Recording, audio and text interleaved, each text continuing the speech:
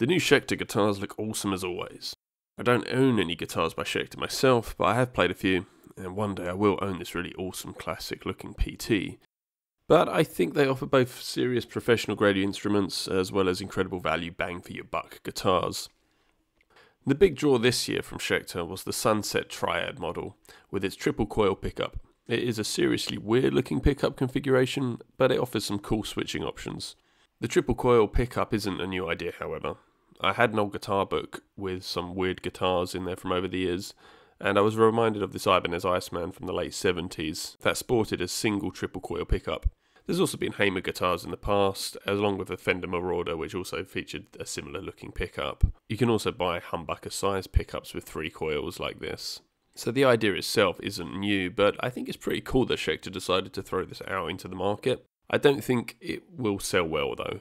There's probably plenty of YouTubers who have gotten hold of the guitar to demo and review, and there'll be a bit of a spike in interest. But I wouldn't be very surprised if next year they decided to discontinue this product. These guitars will be more of a collector's item, and they'll probably get sold on Reverb in a few years' time for astronomical prices. But we'll actually only have a few people that really want a guitar with a triple coil pickup. You know, the triple coil pickup is something that generally doesn't offer anything too groundbreaking in terms of sound, and this is the reason why it's never really caught on. That's just my two cents on the matter, but it's also why we don't really see production guitars with such a pickup.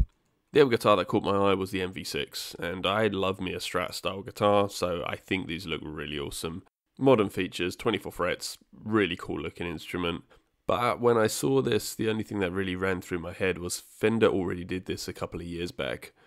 And I know they're not exactly the same, but the pickup layout is the main draw here, and Squier did this a couple of years ago already. Anyway, that's just my opinion on things. Um, short and sweet. Yeah, I have nothing else to say. See ya.